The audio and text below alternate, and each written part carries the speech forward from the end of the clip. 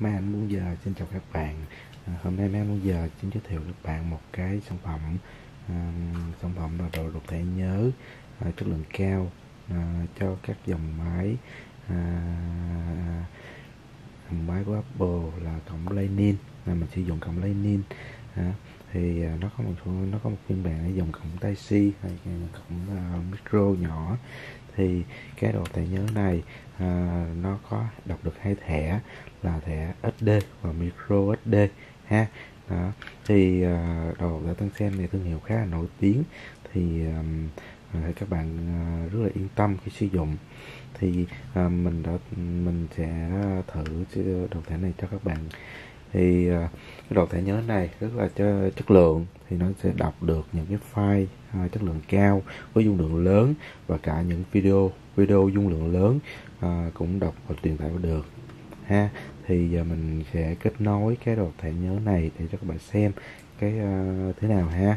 Thì trước, trước mắt là mình phải cả mình phải tải được một cái uh, tôi bắt là mình phải tải một cái ứng dụng ha tôi bắt là mình phải tải một cái ứng dụng này về nha các bạn ha một cái ứng dụng là, đây, transfer, ha?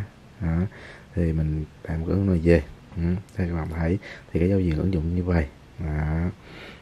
Thì mình kết nối rất là đơn giản, mình chỉ cắm cắm cái đầu chuột USB này lên. Đó, mình cắm. Rồi, mình đút cái đồ thẻ nhớ này vô, ha? Đút thẻ nhớ này vô.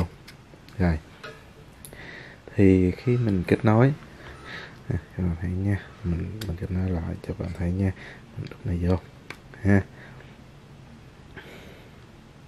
Thì các bạn thấy khi mình kết nối thì cái dung lượng của thẻ nhớ nó sẽ hiện lên cho mình thấy này ha. Các bạn thấy đó cái này là, là hiểu hiểu cái độ thẻ vô cái máy ảnh cái cái cái cái phần mềm của mình.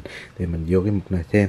Thì cái giao diện của cái thẻ nhớ này nó cũng giống như khi bạn đưa lên máy tính nó cũng có những cái thư mục uh, rõ ràng. Đó thì cái là thư mục máy ảnh mình đã chụp thợ chụp chụp sẵn và có những clip sẵn để mình test cho các bạn thấy ha. Đó mình chụp cái thiết bị này mình chụp tên là con à, 5D Mark 4 thì cái file cũng khá là lớn. Thì các bạn thấy đó thì cái đầu thẻ này đọc được cả file RAW và file CBS đó này mình đang chụp vào file RAW. Thì các bạn thấy file RAW file RAW để thử mình coi đọc được hay không ha. Đó thì cái file RAW rất là lớn bạn thấy cái tốc độ nó lót rất là nhanh ha. Ừ, vô, ha, thấy không?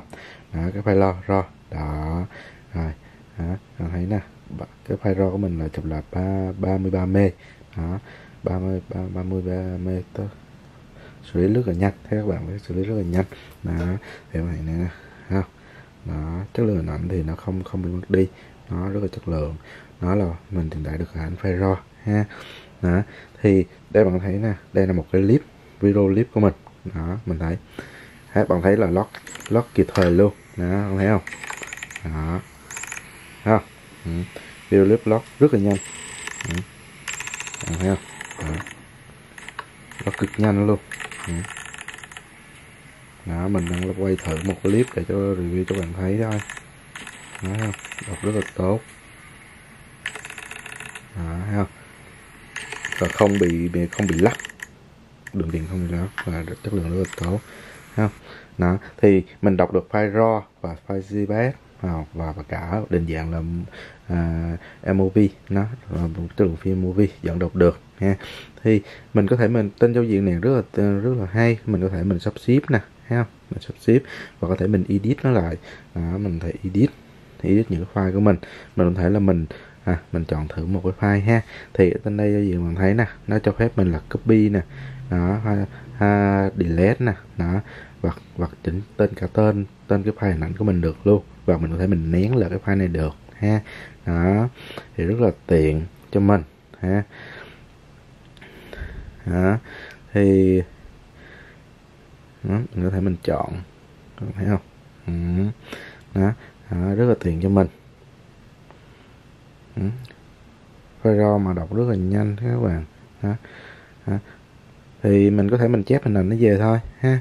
Mình thể mình chép mình chép hình ảnh về rất là nhanh ha. À, mình có thể mình sale email về. À, là khi này nó mới hiển thị tên cái phần mềm của mình thôi. Mình sale mình phải đang phải sale email về. Nó mới về về cái phone của mình ha. Thì cái tính năng rất là hay thì các bạn có thể mình chọn mình chọn mình chọn từng tấm để mình mình chọn. Ví dụ như bạn muốn chép tấm nào về, thì mình chọn tấm đó mình chép về thôi. Thì nó không có ờ, import hết một ờ, lần mà vô cái điện thoại mình, thì dung lượng nó rất là nhiều. Thì các bạn thấy một cái file ảnh nó, một cái video clip gần 100 m mà nó rất là nhanh. Các bạn thấy nè, video clip cực nhanh luôn, đó. Video clip 100 m đưa vô là chạy liền, các bạn thấy không? Định dạng MOV ha thấy không? Đó, nè, cái đọc thẻ này nha các bạn. Đó trăng xưa đó và đang đọc tên thể 64 g tốc độ 95 m đó, thì bạn thấy nè, rất là nhanh. Thì cái dung lượng bạn thấy, các bạn thấy là dung lượng file không thay đổi. Đó, bạn thấy không? Đó. Đây mình thử mình chụp file RAW, mình chụp GPS file RAW là đọc được thì GPS ờ, nó đọc còn nhanh hơn nữa, ha. Đó, thì các bạn. Rồi, thì các bạn có thể mua sản phẩm này tại mấy giờ. Đó sản phẩm này rất là tiện ích cho các bạn, ví dụ như các bạn photo, review cho khách hàng, hay những anh chụp phong cảnh, hay những ờ, những anh mà muốn xử lý hình ảnh ngay trên cái điện thoại, hay cái tab hay cái ờ, máy tính bảng của mình, thì mình mình sử dụng một thiết bị này ha. Rồi, chào các bạn. Cảm ơn các bạn.